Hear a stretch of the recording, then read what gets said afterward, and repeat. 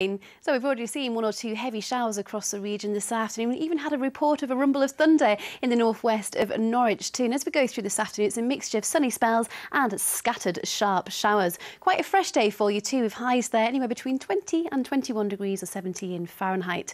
Now, as we head through this evening, most of those showers will tend to die away, so it's becoming dry with clear skies overnight. But quite a fresh night for you. Overnight lows there down to 10 degrees.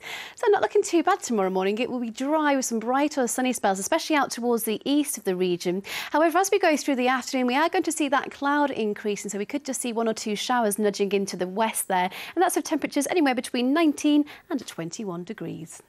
So even though we are expecting a lot of dry and sunny weather across the region tomorrow, pollen levels will remain low. That's all from me. Have a lovely afternoon. Bye-bye.